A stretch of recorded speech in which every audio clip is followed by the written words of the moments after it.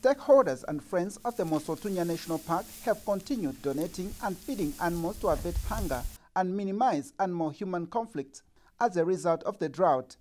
But to ensure a sustainable supply of food to the animals, the Livingstone Tourism Association LTA, in partnership with other donors, have also started working on long-term solutions.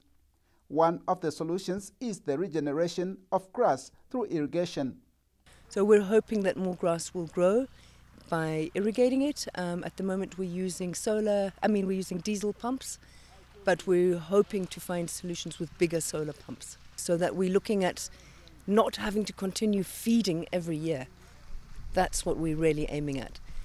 The irrigation initiative is meant to supplement efforts by the Department of National Parks and Wildlife, which has already installed solar-powered pumps to provide water to the animals in selected areas of the park. This was a, um, an initiative by DNPW. It's a very sustainable way of um, pumping water because it's a solar, solar pump.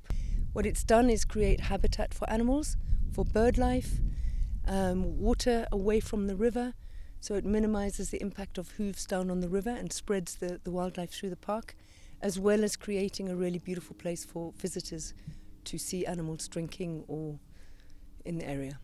An evergreen Mosi-Oa-Tunya National Park is expected to keep animals within their natural habitats, thereby providing tourists with a better view and experience. Justine Akakulubelwa, ZNBC News, Livingstone.